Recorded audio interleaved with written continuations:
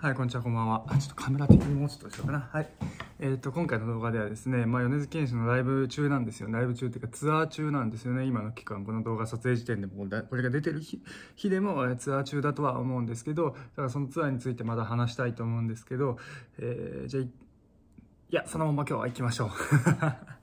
はい。で、僕は、えー、個人的には大阪の2日目の公演に行ってきました。えー、すごく素晴らしいものでしたね。えー、生の米津玄師が本当に動いてるみたいなね、そんなような感覚みんな持ったと思うんですけど、あれはね、ファンであればね、ファンでなくても一応に持つ感想なんじゃないのかなとは思うんですけど、まあ、え僕も同じように思いました。えまあ、それ以外にもね、あの、大阪1日目とか東京2日間、今神戸も終わったかな、えだと思いますね。僕、大阪、大阪で東京の前日物販含め3日間と、えっ、と、大阪の2日間と、えっ、ー、と、神戸の会場も行きました。あの、ちゃんとね、もうなんか勘違いしてる人がまだいそうな気がするから、もう一回ちゃんと言っておくと、僕が神戸の会場に行ったのは、大阪のライブよりも前です。あの、だから、神戸のライブの日に神戸の会場に行ったわけではないんですよね、僕実は。あのちゃんとね動画での最後で言ってるんですけど、まあ、ちゃんとちゃんと理解できてないような人がいるから一応言っとこうと思います、まあ、でも一応神戸の会場には顔を出してるんですよね。僕ずね今回のツアーに結構かけてるところがあって、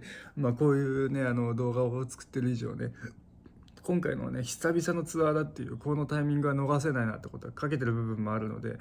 ただやっぱスケジュールとかいろいろな問題もあるので一応会場には足を運んだという形で今のところはやらせていただいてます、うん、あとは何だろうねまあやっぱさっきも言ったけどさなんか生の米津玄師が動いてるみたいなさそこがさすごく僕的にはなんか久々の感覚でさ、まあ、前のね石オパの覚えてるんだよ。3月10日の公演。石オパの時の3月10日の公演の幕張ミステだったかな。の公演に行った時も同じような感想を持ったんであの時が僕初めての米津玄師のライブというか音楽のライブコンサートみたいなのに行ったこと自体があの時初めてであの時はその僕がそもそもの米津玄師にハマったきっかけの話は時々してるんだけど、まあ、友達から教えてもらった「えー、ね、あのレモン」っていう曲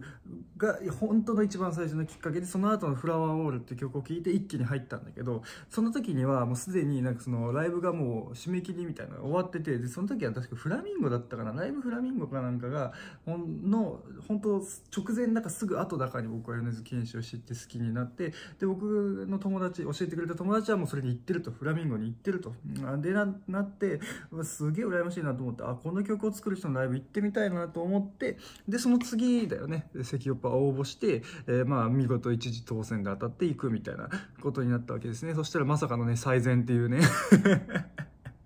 まさかの最善っていうね、えー、そういうライブだったりもするんですけど、関オパに行きましたね。あすごく良かったんですよね、最善で。本当に今回のね、アリーナよりももっと近い距離だったな。もう距離的に言うとね、多分もっと近い距離だったんですよね。米津玄師が本当にそこで動いてるみたいなね、そんなそんな感覚が、えー、強くあったのを覚えてますね。今回のライブでもあったから多分毎回思うことなんだとは思うけど、でもなんかね、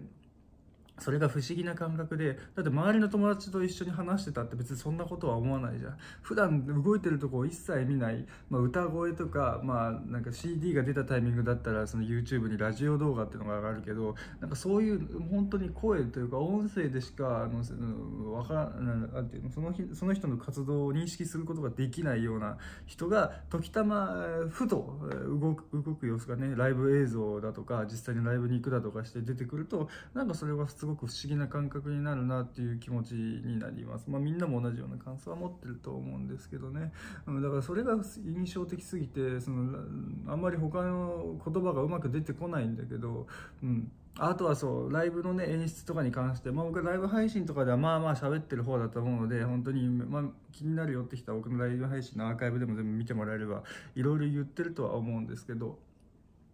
そうですね。まあ瀬戸りとかに直接言及することはもうここではしないですけど、まあ、比較的僕が聴きたかった曲僕が前々から瀬戸り予想とか言ってやってた曲とまあ近いような近くないようななんかそんなような瀬戸りになっている気がしますね。本当に、うん、大体やってほしいと、まあ、僕が思うってことは、まあ、ある程度多くの人も同じように思うんじゃないのかなと勝手に思ってるんですけどそんなような曲たちがどんどんどんどん演奏されていてすごく僕はがねあの素敵だなと思いました、えー、最高だなっていう、えー、素晴らしいなというふうに思いました。あと今回のライブでそう瀬戸りとか演出面もそうだったんだけど、まあ、ファンだファン同士でのつながりみたいなところもだから僕も YouTube っていうこの動画を通してねこのカメラの向こうにいる君たち、えー、と僕を通してですねまあそういうなんか一つのコミュニティみたいなのが形成されているのかなというふうな気持ちもあってっていうのはその会場に足を運んだ時にあの話しかけてくれる人がすごいいっぱいいるんだよ Twitter とかでもみんなさそのの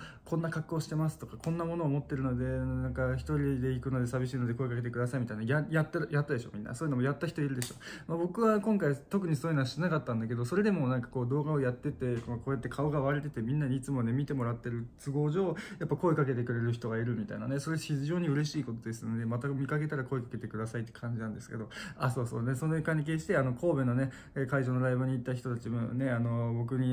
ちょっと会いたかったみたいな人もしかしたらいるかもしれないんですけどごめんなさいね。僕神戸の会場に行ったのはライブの前でしたのでそこの、ね、神戸の会場に行く行った方々とね顔を合わせることはね今回できなかったんですけどまたね次回の、ね、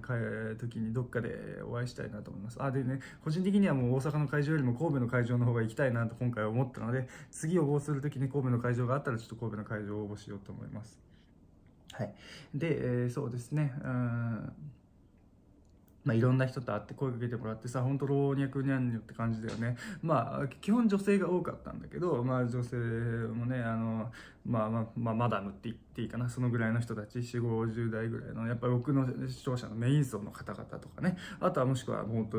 えー、年齢層の低い高校生なのか、まあ、大学生なのかくらいのね子とかがいましてね。もしくはその、えーまあ、マダムの方々の旦那さんとか。まあ、まあ恋人なのかわからないけど。なんかそういう人が、えーまあ、一緒に動画見てますって言ってくれたりして本当に見てるかわかんないですけどね。まあそれでもねそうやって言ってくれるのが非常に嬉しいですね。そうやって話しかけてくれるれて写真撮りましょうとか一緒にやってくれたりねそれがねもう本当会場のでもそのみんなとのつながりみたいなのがある気がしてすごくね嬉しかったんですよね僕的には。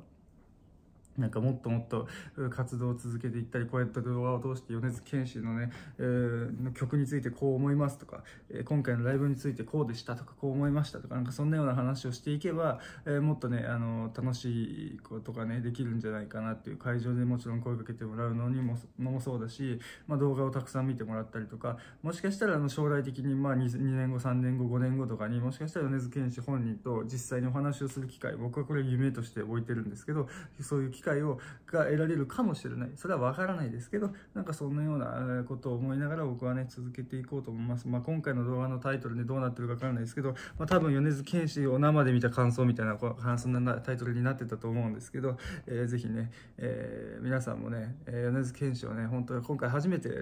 ライブ来た人とかはね本当に動いてる米津玄師初めて見たって人もねいると思うんですけどぜひそういう人のね、まあ、実際のね本当の思うところの感想とか、まあ、今回初めてじゃない人もね実際ライブ行ってってみての感想。まだ行けてない人は今後今後ねライブに参加する予定の人は、えー、参加するまでの意気込みっていうんですかね。なんかそんなような今の気持ちとか、まあ、今回チケット当たってない人は、まあ、次回に対してもうどうしても行きたいみたいなねそんな気持ちをねぜひコメント欄とかに書いてもらえたら嬉しいですね、まあ、僕の気持ちは、まあ、散々動画でもたくさん言ってはいるんですけどね。会場とかでリアルタイムのところでいっぱい行ってはいるんですけど、まあ、一応ねこういうところでね一旦のライブがねあの東京終わって1週間後ぐらいに大阪があってその23日後に神戸があるみたいなねスケジュールの中でちょっとね一旦落ち着く期間があったので今ね。えこういう動画を出しました、え、まあ、特に、えこの動画にタイはないというか、え本当に、えもうタイ動画のタイトル通りというか多分動画のタイトル通りになってると思います。だから、え、まあ、僕がこうやってね喋ることによってみんなが集まってきて動画を見てくれて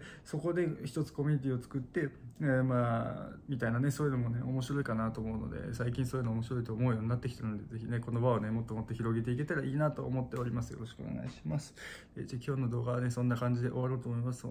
えー、本当にね、えー、今後ね、僕もね、いろんな企画とかやってみたいので、こんなことやってほしいとかあったらね、ぜひコメント欄に、え、書いてください。まあね、米津玄師の曲がどうの頃とか、最近だとなんかね、え、勝手に絵をなんか抽出してくれるというか、なんか文字を入力するだけで、それに合わせた絵を描いてくれる AI みたいなものが出てきたらしくて、それもちょっとね、動画で試してみようかなと思ったりするんですけどね、まあそういうのだとか、まあこういうのやってほしいですみたいな、もしあればね、え、コメント欄に書いてってください。そういうのはね、どんどん拾っていこうと思います。積極的に使っていこうと思います。まあ一応あの言っとくと、僕は配信で視聴者の人が作った BGM を使わね、使わせてもらったようになったりとか、あとは、ななんだっけな、なんか絵を描いてもらったりとか、そういうのもあったかな。あ結局自分のアイコンは自分で書いたんですけどねとかまあなんか視聴者の人と一緒にあ一緒にゲームしたこともあったね視聴者の人と。なんかそんなようなね一緒に何かをしようみたいなそういうねこともねもうどんどん取り入れてやっていくつもりだしやってきているのでねぜひその辺ねあの特にビビらなくていいのでね、え、コメント欄にぜひどんどん書いてきてください。じゃあ今度はこの動画はこれで終わろうと思います。よければねいいねボタンをねたくさんたくさんじゃないや一人一回ですよ。一人一回押しててください。でまだチャンネル登録してないよよって人が見てたらチャンネル登録お願いしますじゃあ今日の動画終わりますご視聴ありがとうございましたまた次回の動画でお会いしましょう。さよなら。